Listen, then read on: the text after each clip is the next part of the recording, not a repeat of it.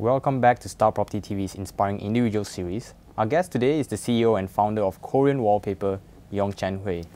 His journey in entrepreneurship began in a modest, low-cost apartment for an office in Star some decade ago. Through his leadership, Korean Wallpaper has set an unprecedented wallpaper trend in Malaysia and took the market by storm. In recent years, Korean Wallpaper has won several business awards, including the 2015 SME Business Excellence Award, 2016 Sin Chew Business Excellence Award, and Yong himself is a winner of the 2016 JCI Creative Young Entrepreneur. Yong also co-founded the much anticipated CO3 Social Office, a Google-like co-working space which he'll briefly tell us about. So without further ado, welcome Mr. Yong. All right, uh, thanks for coming here today.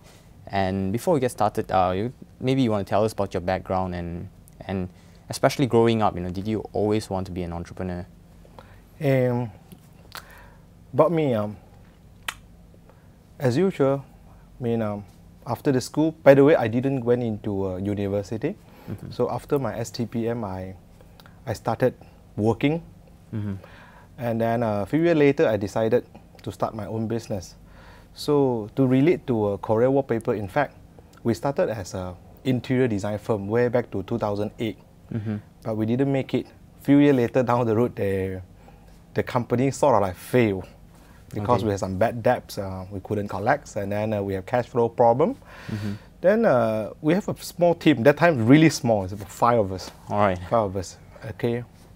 What happened was um, the business is not doing good, but uh, we feel like we do not want to dismiss the team. Okay. So we settled down and then we said uh, what we gonna do. So we took about six to seven months time, eventually we found a business called Wallpaper Business. So okay. that's where we started the Korea Wallpaper.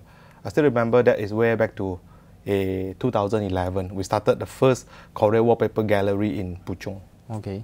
Something like that. 2011 and about and six years from now. How would you say Korean wallpaper differ from, you know, other companies in the in the marketplace now? See, um, first of all, people often misunderstand that misunderstood that Korea Wallpaper is a Korean company. Yep. The fact is it's not true. Korea Wallpaper founder, I'm one of them, yep. and it's a pure Malaysian company. Yep. So um, to explain that, what inspired us about, about this uh, Korea Wallpaper brand is because by then, 2011, there's no brand basically basically no brand mm. in the wallpaper. Okay. You can find good brand, big brand in the paint industry. Yep. For example, people hear about Nippon Paint, yep. Kansai Paint, ICI, and so on. Mm-hmm. Then we said, uh, why not we build a brand for wallpaper? Mm-hmm. Then we decided to choose Korea wallpaper. Then we talked to our Korean counterpart in Korea. We said, uh, uh, make us the wallpaper we want, and then we want to position it as Korea wallpaper. Mm-hmm. So that's wallpaper start. And back to your question, how do we differentiate ourselves uh, yeah. from other wallpaper company? First of all, it's about the brand, but then uh, most importantly, we do not see other wallpaper company is our competitor. In okay. fact, we see we are actually competing with the paint company mm-hmm. instead. Yep. So to differentiate between wallpaper and paint, of course, a, is the effect is the effect it render, yep. is the textures, and is the quality of the product itself. So then, uh, of course, uh, people said, um, you know what, wallpaper could be good, but the fee also very high. Yeah. So what we do, um, since 2011, I still can remember, we have one mission to make wallpaper really affordable. Okay. Really, really affordable. To put into figure, you see, um, we wanted to make wallpaper is somehow equivalent or lower than paint. Okay. So that's where we come from. All right. All right. And your motto is achieving the unconceivable. Perhaps you want to elaborate on this. Yeah. So, say, uh, some good friend of mine uh, who know me for very long, they, they, they, they always say this, they say, Yong, you know what, sir? You are the people um, who make impossible to possible and most importantly, you always do it in a very fun way. Okay. So it, it's kind of fun. So they this is how they look at me, but to me, um, maybe I, I, I give some example. You see, I still remember uh, the wallpaper story. By 2014, 2014, we have a we have a tough time. Tough time. They said because when we said we are competing with paint. Yep. So, but the thing is, painting is a culture in Malaysia. Yeah. We're not competing between the product. We are competing. We we we, we our, our, works is actually uh, influencing the culture. So that, for example, you are a new home owner. Now you get a key from the developer. You want to move in your house. So first thing coming to your mind is always paint my whole house. Yep. All right. So this is the culture. So to influence the culture is not easy. Yep. So to make it possible, to make it possible, what we do, uh, I remember that um, we give free wallpaper to people. So the market shock is seriously free wallpaper. You come here, you take the wallpaper, you pay for the installation. That's it. Okay. That's it. So so this is what what we do. All right. Okay, and uh, at you know, in the initial stages of a startup, what would you say is most important? You know, is it time? Is it funding? Is it the team or organizational structuring? Initial stage. ah. Yeah, Only one. Uh, Most important. yeah, Eh, or maybe top three. Most important. I, I, I would say um, spirit, the spirit of the uh, entrepreneur. See, the spirit on, uh, because you see, it is not easy for a startup, not to Yup. say to success, but to survive. Yup. To survive is, like, to survive itself is not an easy task. Mm-hmm. So, so it, it requires strong spirit. Yep. I mean, from the leader, from the team, to overcome whatever the obstacle. So to keep the spirit high, I would say this is the single most important thing for Okay, any of the startup. And and and what have uh, what's the biggest lesson for you since being an entrepreneur? Biggest lesson. Yep. Mm, I would say um, again back to what I just said. Um, overcoming challenge, keep overcoming challenge. I remember, um, see, um, my parents taught me, see, a successful people is not how smart you are. It's not. All right. It is about how you overcoming difficulties over and over again without fail. So Yeah. that is what I learned. So see, we we, we, we, we, we have difficulty, challenges, problem almost every day, big or small. Yeah. So one of the thing is overcoming. Okay, and and so far, you know, in your entrepreneur uh, journey, what has been your biggest setback, and and how do you manage to overcome that challenge? Biggest. Yep. Wow, your question is only one answer. Biggest, most. 2015. Okay. 2015, which is two years back, um, two, two of our wallpaper gallery burned out. Burn. It's fire. Okay. So that that happened a month before Raya. See, in our industry, wallpaper, the month before Raya is the peak. Okay. So this is where we have the best business of the month of the year, and then we couldn't believe that two of our gallery caught fire and burned, and that causing us running into a trouble, trouble in the sense that um, we have cash flow problem, and uh, the stock destroyed, so we couldn't deliver as what we have promised. So that is really really tough to us by then. And, and, and in, under those circumstances, right, how do you manage to, to lift the spirit of your team, keep them motivated to, to carry on in, in times like that? I think before I keep them motivated, I have to motivate myself first. Yeah. I'm very demotivated by then, very very demotivated. And then, but then uh, I take about I think one or two days. I ask myself, what should I do? Should I uh, just give up? In fact, I make up my mind. to give up. I see. But then the subsequent question is, if I give up, what am I going to do next? Yep. So I couldn't answer that question. If I stop now, if I quit the business, so what am I going to do next? Quick is easy, but how after quick you still you still have life to go on. Yep. So then I couldn't answer that question. So lor, how ah? Then I said, no choice lor, continue, continue. So that, that that is just just simple like that. Then I I talked to the team. I said, uh, see, everyone know that what is the problem with the company.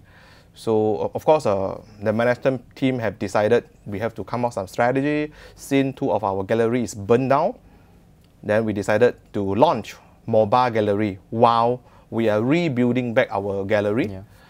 And uh, of course, uh, we also initiated some. Uh, we also invited uh, some people to come in to be our investor, so that to help us to rebuild the gallery. So I think it took us about about four to five months time to put everything back on track. And well, thank goodness you stayed on because 2016 you won the one.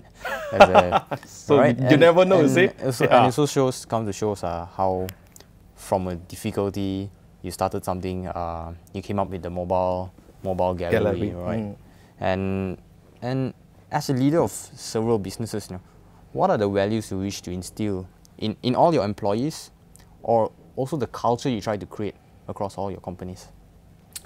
Um, we have a unique culture in our company. I encourage everyone to take risks, take risks, and I always said drop. Sorry, I always said take every risk, drop every fear. So in our company, we have a program Okay. called um, I am a backpacker program. So we want every of our employee go backpacking. We subsidize them one to one ringgit matching. Okay. So you got to go, and then we said ten year, ten country, ten year, ten country, regardless of your position. Got any vacancy at your company? okay. So you see, um, what we see is while you are doing backpacking, you learn a lot. You have to take risks. You got to go to a place you've never been. Yeah. all right you got to face people then we i will reject if you tell me that you are joining a tour no Okay. you got to go by your own backpacking Every single employee has. every single Has employee are encouraged to do that is Okay. by volunteer Okay. so far i think more than half of them have participated Okay. so then we have a lot of story to share. Whether you are a clerk or you are a director, it's all the same. One to one matching, go backpacking. Then come back, bring back the story. Mm-hmm. So this is what we believe in business. Take risks, explore the world. All right, capture more imagination. Yep. So travel the route which is less traveled. All right, and very interesting. And uh, many startups, right, they're very rigorous with their hiring process. You hear a lot of entrepreneurs, uh, especially of in the beginning stages, they say, "Oh, we we don't have big funding, so we cannot hire the wrong person." For instance, so when you want to employ someone, what are the what do you need to see in that individual before you, you decide, okay, this is the person, him or her, I want to hire? So maybe I do it, I answer you in the other way around what we don't see. Okay. Besides, I said what we see. Yeah. First, you won't believe. We do not see their education background. I do not care, or we do not care, whether you are degree or master degree. Mm-hmm. To us, that one is least important. We do not see nationality. We do not see color. We do not. What we see, you see, I give an example. Um, in our company, our marketing team, we have four graphic designer. Only one of them, out of four, only one of them have a formal uh, degree. Yep. I mean, in this particular field. The other three, they learn by themselves. They have no certificate, degree, or whatever, but they are our graphic designer and they do good work. So, see, then what, what, what we look up to? And then I always ask them commitment, how committed you are. So, what we want is, I mean, um, um, high level of commitment, not high level of educational background. And define commitment. What? How do you, uh, how do you determine commitment. someone is committed? Yeah. So we cannot determine commitment through interview. Okay. We cannot. So, but then, uh, as long as they're willing to do something which they not usually do, mm-hmm. we will give them a try. Okay. Then, uh, throughout the trial, it will speak by itself whether you can do it or not. So everyone come in, they always got a task, where that task is not they are good at. We want to give them something they are not good at. So okay. we want to see when you are facing something which is uh, abnormal to you, how you respond. Yep. So this is again, you see, yeah. relate back to the backpacking story. Yep. So when you go backpacker, you're a backpacker, you're going to face a lot of situations which you're not used to face. Okay, very interesting concept. Yeah? and as an entrepreneur, more often than not, when you are beginning, you're starting out, uh, you start off as you start off as a nobody. Nobody knows much about you. How do you manage to gain the confidence and the trust of your employees, of your and your team members? How how was it like for you? Walk the talk. Okay. We do what we said, and we said what we do. And um, as a leader, mm-hmm. we clearly know that my responsibility mm-hmm. is to set a direction. Mm-hmm. Everyone coming to the company with a mindset that they wanted to contribute, everyone. But then, what to contribute? A clear direction must be there. Yep. So I think this is what I do every day. And uh, moving on, when we talk about success now, how do you define success? See, you. success. Like I say, every company, almost every one of them start as a startup, started from a startup. Mm-hmm. So from a startup, they may grow or may not. Mm-hmm. So those who may grow may become an SME. Yep. All right. So that took sometimes five years or more. So time is time will actually prove everything, mm-hmm. whether you are success or you are not success. And along that period of time, what make people fail is because they couldn't overcome difficulty, challenge, and so on. Mm. So, if you ask about success, I would say uh, it's actually not about waiting the storm to pass, but it's about learning how to dance when it's still raining. Mm-hmm. See, 2017, everyone said it's a bad time. Yep. So what to do? Close down the shop, wait until the good time, reopen again? Mm-hmm. No way. So, I mean, uh, success to me it means facing the challenge, overcoming over and over again, and mm-hmm. given time, we will success. And and your latest uh, business ventures, of course, are the CO3 mm. uh, social office. Firstly, for the benefit of the audience, you know, tell us uh, what what is CO3 about and and what inspired this uh, this new venture. All right, CO3. Hey. Okay, some imagination. You see, uh, CO3 social office. We define social office. See the words of social office coming from social mm-hmm. media, social network what difference? We wanted to turn something which are virtual social network into mm. physical. So, see, it's a space. That space have to be at least 20,000 square feet. Mm-hmm. And then this 20,000 square feet, we make it Google alike. Very cool. Yep. I mean, the concept have to be something, a cool office. And then we put in a few hundred people mm-hmm. about 300 people. And these 300 people has to be from different organization. Okay. And everyone work under the same roof. I say again, 20,000 square feet. Mm-hmm. Google alike, cool environment, 300 people, a working together. So we said this is something inclusive. We need to include a lot of people. Mm-hmm. Every time when I come to here, people will say, "Oh, yeah, you're talking about shared office. No. Yeah. You see, we're not talking about shared office. We're talking about social office. What makes the difference? Three elements. CO3 coming from these three elements. The first one is connectivity. Mm-hmm. The first CO coming from connectivity. We all know that when people connected, a few hundred people connected, mm-hmm. they will start to collaborate. They work together. The second CO. And then the third, when they start to work together, so they become a community. So this is CO3.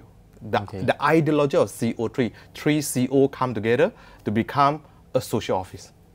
And, and how do people take part in this, like this social office? Oh yeah, I mean basically very simple. Is is is is through membership. They okay. can sign up to be the member of CO3. Then they will gain access to this place and they will mm-hmm. use this place as their office. As simple as that. And do you think that, uh, that the landscape of employment is changing, especially amongst millennials, uh, with the rise of you know tech startups? And, mm. and, if, and if so, how, how do you think like more traditional organizations can learn in terms of adapting to the needs of the, of the younger generation? I think we get to see what the younger generation want or their core value. Mm-hmm. And we realize that those who born after 1990, which is currently about 20, 25 years old, mm-hmm. plus minus, this group of people are currently the fastest growing workforce. And their core value is different. What they look, what, what they want, mm-hmm. freedom. Yep. A lot of freedom. So how? We wanted to create a workplace which allowed them to have a lot of space mm-hmm. so they gain freedom.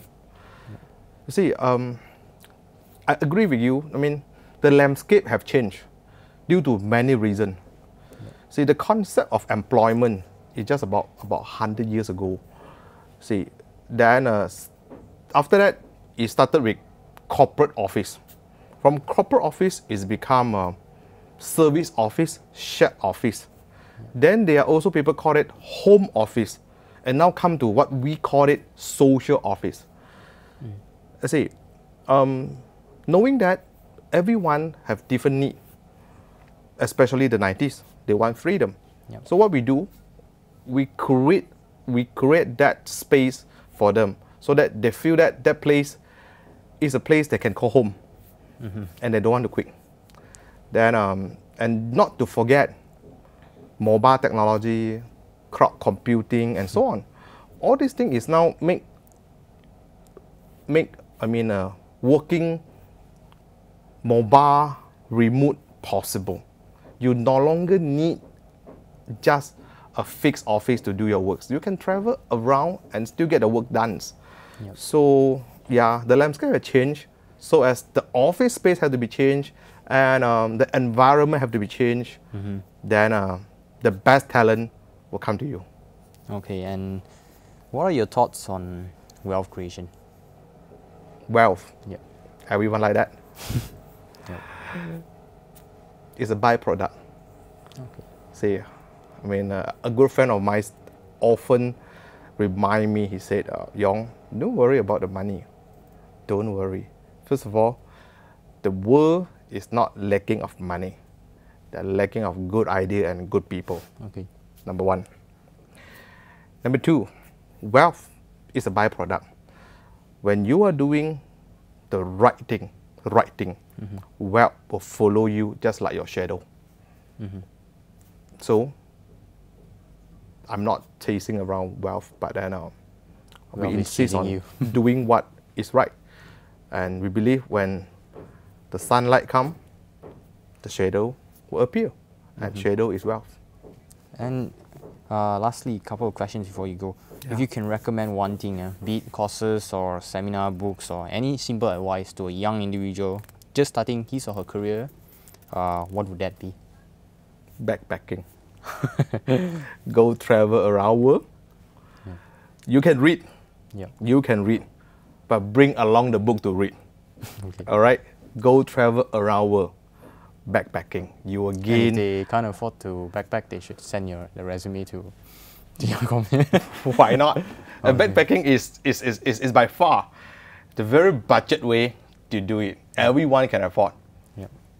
Okay, and your the last question is if you could turn back time to when you're you're still relatively young, but if you could turn back time to when you're 20 or to 25, what advice would you give yourself, having learned having learned from the mistakes you've made? What advice, huh? Yeah. If, uh, but by, by, by the way, it would happen. But then, if uh, Yeah. I will say the get married young. Okay. Get married young. That's what everyone else. People say the opposite actually, but No, I, I, I want to get married young. okay. I want to have kid while I'm young, Okay. as young as 25. So, see, uh, we And always what, said, what, what the what's the reason behind behind this? see, everyone always said, okay, when I settle down, so then I will focus on my family. When my career is stable, so then we get married to have kid and son. I think, no, you will never settle down when you are in business. Yeah. So even up to now, I don't see I'm having any chance to settle down. So might as well. Anyway, I couldn't settle down. Might as well I get married as soon as possible, Okay. so that I settle down the family first. okay. So I see it this way. All right, and uh, Yong, it's been a great conversation, jam-packed with a lot of, uh, a lot of wisdom from you. Uh, we wish you well for your current and future businesses. Thank you for joining us today. Thank you, Jonathan. And uh, guys, that's all we have for today's episode. Remember, if you like the program, uh, give the video a thumbs up or subscribe to our channel or maybe even drop us a comment. As always, I'm Jonathan Roberts from Star Property TV. Take care and see you next time.